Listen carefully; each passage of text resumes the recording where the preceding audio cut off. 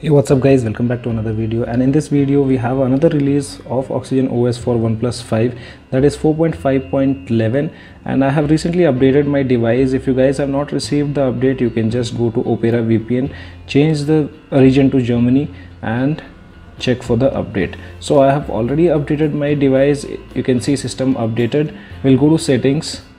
In this about you have Oxygen OS version 4.5.11, Android version is 7.1.1, Android security patch is 1st September 2017. So they have updated the security patch in this build. So now I'll show you what are the changes available in this. Let's go to gallery. I have taken a screenshot of that.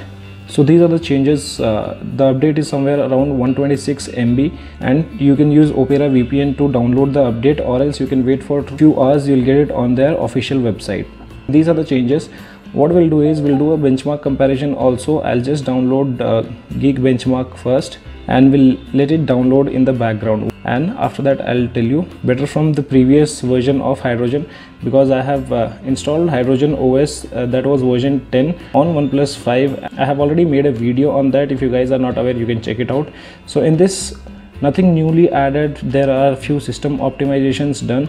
Supports customization of notification ringtone. So this i have already showed you in this one. So let's go to settings. So here you can put a local ringtone over here but this option i think it was not available uh, in the previous build. So after that they say improve launching speed of application. That we'll get to know when we start using because on hydrogen os it was pretty fast and the same change logs were available on that optimized adaptive brightness. So they have uh, optimized the brightness here fix issues of youtube video lagging behind audio. So this issue i have never faced so i'm not sure if you guys had faced that. They have fixed it. Fix display issue of some ui elements fix issues of no 4g plus network in some regions. So i normally get so this was not an issue for me all. Updated android security patch to september. So that i have already showed you they've updated the security patch that is not considered uh, as latest because google has released the latest one with uh, 1st october and oneplus is still on 1st september.